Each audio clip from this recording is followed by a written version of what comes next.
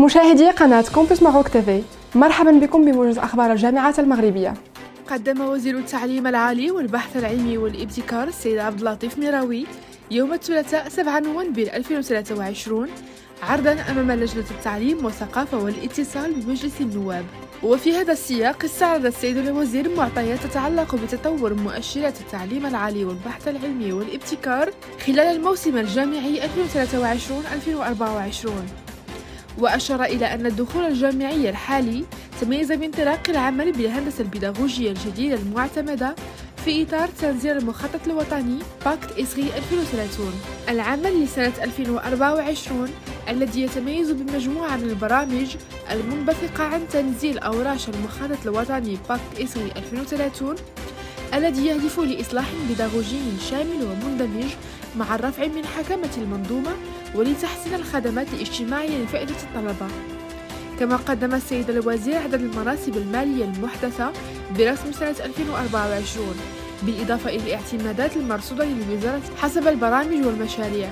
ترأس السيد عبد اللطيف مراوي وزير التعليم العالي والبحث العلمي والابتكار يوم الأحد 5 نوفمبر 2023 بجامعة محمد السادس لعلوم الصحة حفل استقبال وامتنان نظمته مؤسسة جدارة بمناسبة استقبال 240 مستفيدا جديدا والاحتفاء ب 69 خريجا. وهو الحفل الذي شهد حضور عدد من الفاعلين الأكاديميين والاقتصاديين وممثلي المجتمع المدني.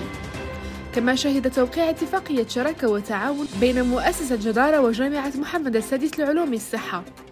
وفي هذا السياق جدد السيد الوزير خلال كلمته التأكيد على أهمية الأدوار التي يقوم بها المجتمع لتثمين الرأسمال البشري الذي يعد حجر الزاوية لأي عمل تنموي. ومصدرا مستداما لخلق الثروات المادية واللامادية التي من شأنها توسيع الآفاق المستقبلية لتطور الأمم ونموها لا سيما بالنسبة لبلدنا الذي يمر بمرحلة تحول ديموغرافي ومجتمعي غير مسبوق.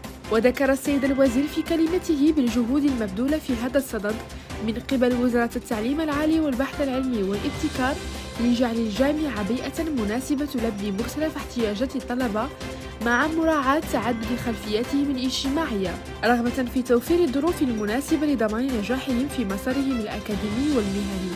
وهي الكلمة التي اختتمها السيد الوزير بالدعوة إلى توحيد الجهود وانخراط كل الفاعلين للعمل سويا لتطوير منظومة التعليم العالي والبحث العلمي والابتكار حتى تصبح أكثر شمولا وفاعلية واستدامة.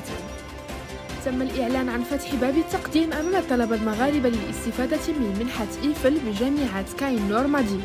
الموعد النهائي للتقديم هو 23 نوفمبر 2023 نهاية الموجز إلى اللقاء.